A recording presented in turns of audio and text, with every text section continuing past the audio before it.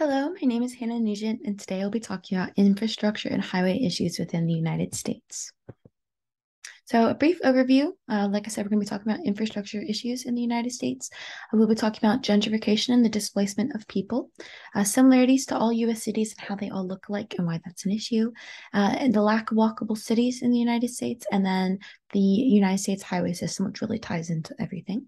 Uh, the main audience will be those directly affected who live in the cities who are displaced or who aren't able to walk where they need to go, and then the government officials who end up making these decisions and a quick disclaimer I'm not a professional, I'm just sharing my research. Obviously, all these topics can go into way more depth, but this is just a brief overview of those topics. So, for a little bit of background, gentrification. Gentrification is a na- neighborhood changes that often include economic change in, com- in commonly disinvested communities. Uh, so, this image to the right is an example of gentrification. Uh, so higher income residents move in and can cause change in uh, education level or racial makeup of the residents and then causes direct uh, displacement of the people. And I'll explain that further. Uh, in this image, we have two uh, modern day apartments and surrounding a smaller, which could be considered more rundown um, home in the middle and with all these buildings surrounding them, um, making the area around it a higher income area, it's directly affecting that family living in that home. And then we're going to talk about the similarities of US cities. So, major cities in the United States look very similar all across the world. I mean, all across the uh, country. It's a lack of originality and uniqueness in each city and takes away from the excitement and the individuality of each city. And uh, that's supposed to say lack lack of walkable cities. It is not easy to walk around town. Um, cars are very needed. We are a very car dependent country. Highways are essential because of this. And then we'll also take a look at uh, talk about alternatives alternatives in other countries that exist.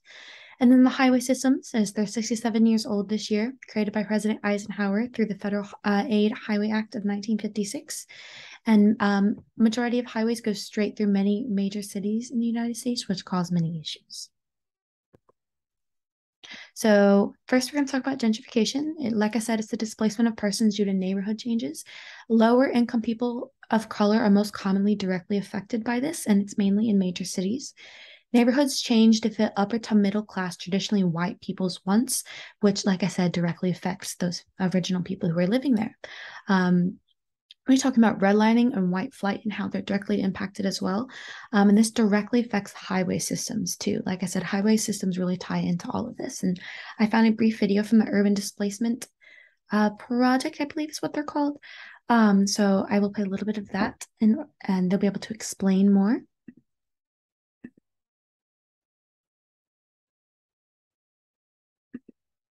To understand it, there are three key things to consider the historic conditions, especially policies and practices that made communities susceptible to gentrification, the way that central city disinvestment and investment patterns are taking place today as a result of these conditions, and the ways that gentrification impacts communities.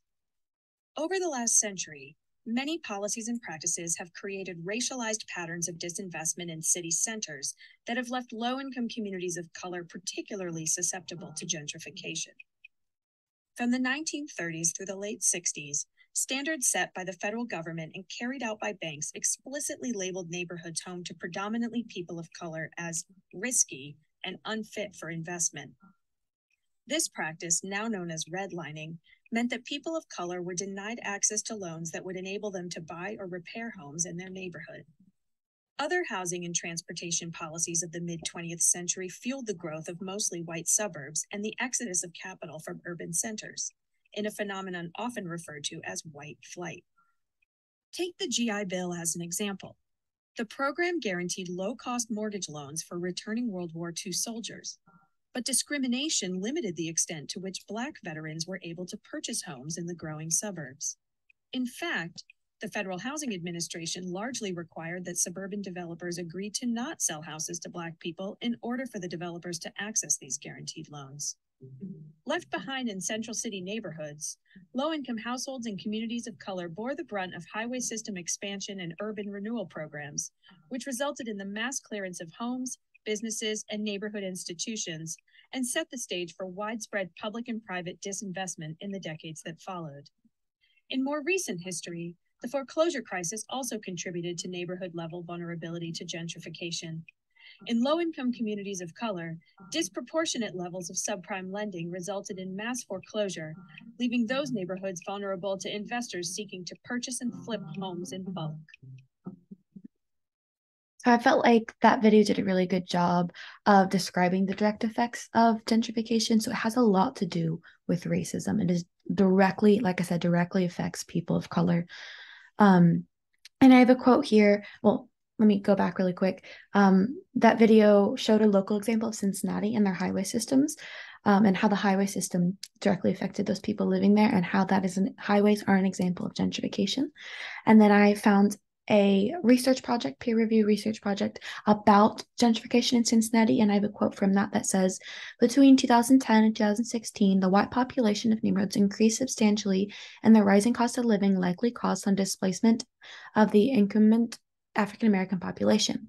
Track 74, which has something to do with the census, African American population declined by a further 44.9% between 2010 and 2016, leaving it with only a 21.3% African American composition. So, again, this shows a local example of how gentrification affects people, especially people of color. And the next topic we're going to be talking about is the similarity of US cities. In almost every city you go to in the United States, buildings look the same. Nothing really stands out. Within the past two months, um, I've been to both Charlotte and Atlanta, and the entire time I just kept thinking about how similar they look to Cincinnati.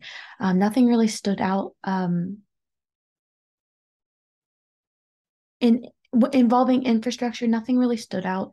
Um, of course, they have their each of their uniquenesses and parks and things like that, but the buildings all look the same. The entire time I was there, I kept saying to myself, "Oh, I feel like I'm I'm in Cincinnati right now because it looks so similar."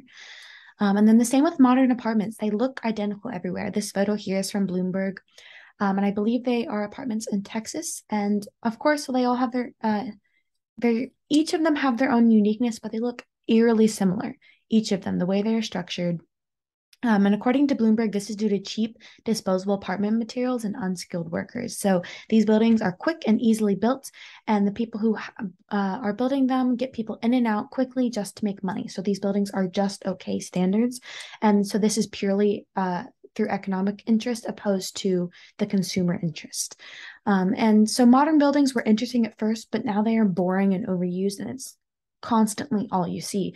Uh, there's a lack of uniqueness in most of the country. Obviously, there's different parts of the country and small amounts that have their own uniqueness, like the Space Needle in um, Washington, Golden Gate Bridge and San Francisco. Each uh, state really has something unique to themselves, but when it comes to the buildings and how things are built, everything really looks similar.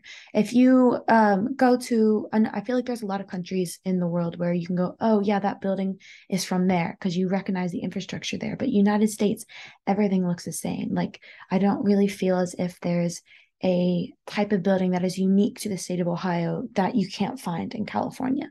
Um, I feel like towards the south, there's a little bit more of unique buildings in the way that they're built. Um, but this is like in the deep, deep south near the border um, and down in Florida. But even then, you can find some of those types of buildings up here um, in the north. So there's not really uniqueness in buildings within the United States. Lack of walkable cities. Uh, so this photo shows a neighborhood and a um, sidewalks that, that stops halfway through, and then the other side doesn't even have a sidewalk. Um, so there's parking lots everywhere throughout America because we are a automobile dependent country where we prioritize cars and traveling long distances in order to get places. So there's a large lack of sidewalks. Now, in comparison to Europe, and of course, Europe isn't all walkable, but compared to many countries in Europe, um, especially major cities, people are able to walk everywhere. 15 minutes down the street, they're able to go from their home to a grocery store. Whereas that's not really possible here unless you live in certain cities, like big cities, which I'll get to in a moment.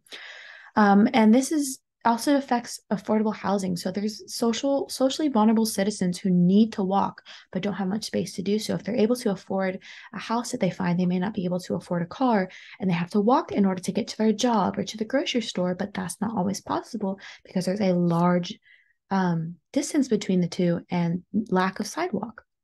Of course, like I said, big cities, Um, in America, can be exceptions such as New York, San Francisco, Chicago, but there's other places um, like LA. Of course, down, down, downtown LA, you're able to walk to, but the rest of it is not very walkable or if i wanted to walk from oxford ohio to hamilton ohio that is not at all at all a possibility because there's not a sidewalk for me to do so and then the highway systems. Like i said this ties into everything. Uh, this here is an image from vox that shows a major us city. I'm not sure which one but there is a highway system going directly through it. Um, so, like I said, many major US uh, highways run straight through large cities. Um, I found an article that described uh, the construction as a tornado path or atomic bomb um, through these cities. Huge displacement factors when they were first made directly impacted low income people of color. Like I'd mentioned earlier, this is an example of gentrification. Uh, it adds to the lack of walkability to the country. So, because we are so dependent on those highway systems to get from one place to another, it cuts out walkability. Uh, and while it, it does connect different metropo- metropolitan areas, um, we have to think about the costs of what that affects at the end of the day. So I have possible solutions. Um, of course, it's going to be very difficult to fix much of this considering our country is already very well developed but um, there are some things possibly so here i have an image from fox 19 uh, news from cincinnati that says new plans revealed for tri-county mall redevelopment uh, so this was a shopping mall people parked around it and then had to go inside um, but now they are redesigning it to make it almost like a tiny walkable city is what i would describe it as uh, so uh, pedestrian centered areas so um, there aren't cars. You can just drive through that city. It's just a large group of people walking around throughout the mall or through the apartments or whatever will be cons- uh, whatever, whatever will be included within the Tri County Mall. Um, so the lack of car centric malls and strip malls um, would be able to help over time. Obviously, that is a very small thing, and people aren't going to live in malls. You obviously have to drive to get to this said mall, but this is a small step in the right direction. Um, I've obviously like in this uh, um, I think it's AI generated photo. You see people walking throughout it, so that's um, a good improvement. Um, this topic gentr- gentrification and improve area around without displacing the people. So the money that would be used in order to build these new buildings and to uh, change the income of the area could be relocated to help those people in the area to make it better for them so they can continue living there and they aren't displaced.